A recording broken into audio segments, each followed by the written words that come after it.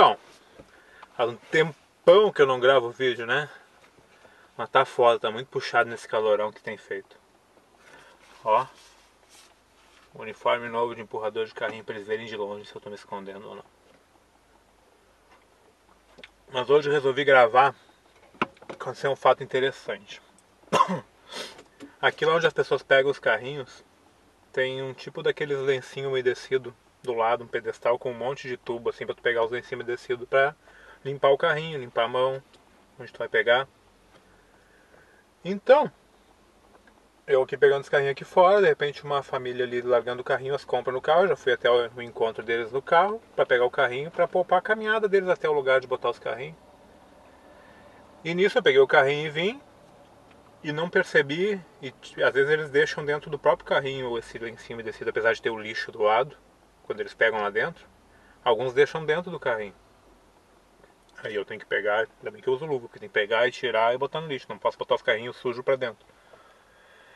Aí eu peguei ali dessa família o carrinho, puxei e não vi, caiu no chão esse lencinho. Atrás de mim, eu tava puxando por trás, assim, segurando ele com a mão para trás. E de repente a guriazinha de uns 3, 4 anos sai do carro e junta do chão o negocinho e vai até o lixo que tinha ali perto, onde eu ia levar o carrinho, para botar no lixo. Ela já estava dentro do carro, de cinto, para ir embora com a mãe.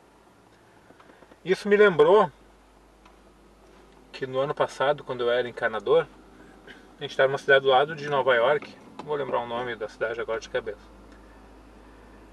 E uma senhora eu estava dentro da van ainda, esperando o outro encanador que falava inglês lá conversar com o pessoal do serviço, o que, que a gente ia fazer.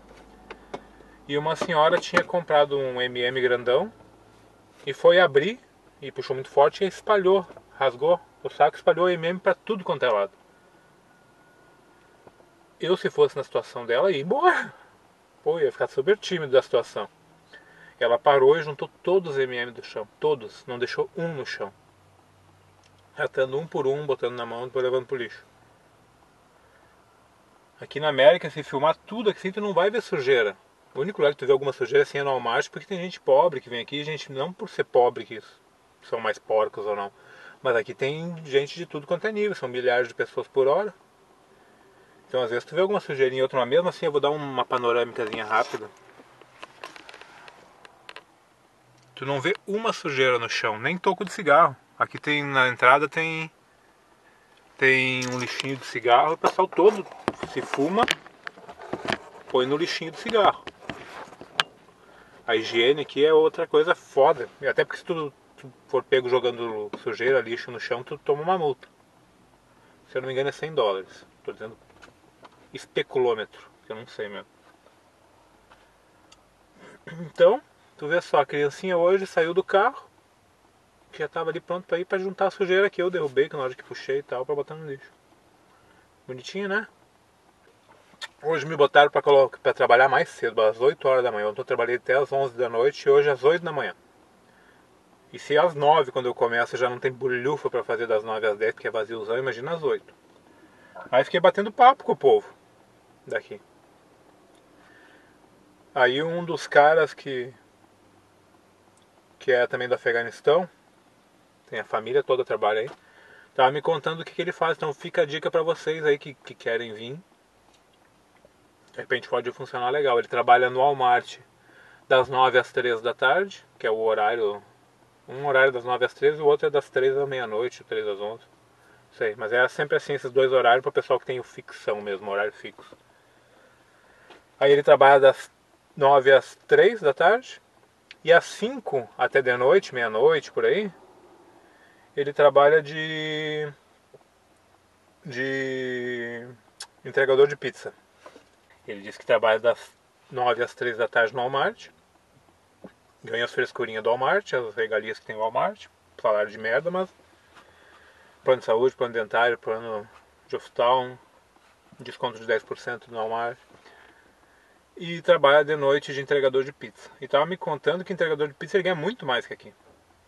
E contou por quê. Então vou dar essa dica para vocês que quiserem esse tipo de serviço. Tu não precisa falar bem o inglês. Tu precisa de um GPS. Aqui todo mundo tem GPS. Que é tudo longe. Aqui tem o esquema da As pizzas são entregues em meia hora. O tempo máximo de entrega de pizza é meia hora. Então ele contando que ele recebe 7,30 ou 7,50 a hora, que é o salário mínimo mínimo daqui, e recebe mais uma ajuda de custo por cada entrega de 1,50 ou 1,60 por cada entrega. Então ele ganha esses 7,50 fixo por hora e diz que faz umas duas entregas por hora de bom tamanho com as duas entregas de 1,50 cada um, mais 3 dólares. Então ele ganha uns 10 dólares a hora. E mais a gasolina, que eles pagam a gasolina do carro. Não sei como é que funciona o sistema de gasolina, mas eles pagam a gasolina pra ti. Ou será que esse 1,50 é da gasolina? Não sei. De repente da gasolina. Mas igual, 7,50 a hora. Na América, todo mundo dá gorjeta. Se tu não der gorjeta, hum, sei lá se vou te dizer que cara é taxado como grosseiro, como pau no cu mesmo. Porque aqui todo mundo da gorjeta é tipo obrigatório. As notinhas de restaurante já vem com a gorjeta embutida lá e não tem essa de não pagar porque é obrigatório. E restaurante é 20%. Em qualquer lugar, por exemplo, no caso do entregador de pizza, tu sempre tem que dar. Se as tuas pizzas custam uns 15, 20 dólares, tu dá uns 2, 3 dólares pro cara. Tu dá uns 10% de gorjeta pro entregador. Então a cada entrega que ele faz, ele ganha mais esses 2, 3 dólares. Ele contando que às vezes as pessoas dão 20, 10, 20 dólares para ele de gorjeta. E que ele ganha muito mais que aqui. Então fica a dica. Como uma opção, tu tem que ter carro. Aqui tu faz com o teu carro as entregas, tu põe só o, um balãozinho aqui em cima com imã iluminado. E faz as entregas com o teu carro ganhando 7,50 hora mais gorjeta. Então tu vai ganhar mais do que qualquer lugarzinho assim, só que não tem um monte de, não tem frescurinha, tu não é vinculado, tu não tem o que seria a carteira assinada aqui, que seria descontos de taxa, tu sai com dinheiro todo dia do, do local, tu recebe por dia. Que é tipo um freelance. Faz as entregas e ganha quantas horas tu trabalhou, as gorjetas são tudo, não precisa entregar para eles. E mesmo na, quando tu paga com cartão pizza, eu sei porque uma vez eu comprei com cartão a pizza. Eles já te perguntam quanto de gorjeta para passar no cartão a gorjeta. Então aqui tu tem que dar gorjeta, já vai preparado. Se tu vai trabalhar nesse ramo de qualquer coisa que tu possa receber gorjeta, tu vai receber muito dinheiro em gorjeta porque é tipo obrigatório. Que era isso, né? Ah, hoje é o último dia que eu tô no carro da minha mãe. Amanhã vou ver se eu já gravo no carro novo. Segredo? Não sei. Carro novo. Mas não é novo, né? Amanhã eu vou filmar o carro que eu tô comprando. Parceladérrimo. A perder de vista. Carro de pobre. Mas bacana. Amanhã eu filme para mostrar. Vou fazer uma panorâmica do carro. Fazer uma gravação dentro. Vou dar uma dica. É conversível de busão do Brasil para conversível na América.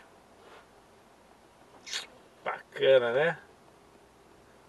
Não pensa que foi minha escolha, não. Foi porque aconteceu. Depois amanhã eu conto a história do carro. Então tá, né? Volto depois.